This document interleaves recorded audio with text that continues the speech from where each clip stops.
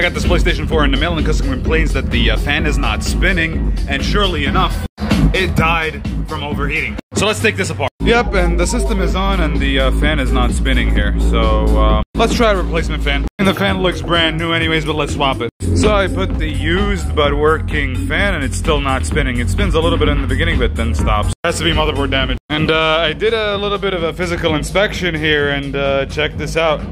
There's a resistor missing and two capacitors knocked off. Let's go fix those. There's another component missing here. This is the one that's responsible for the fan and then there's a few here that are knocked off.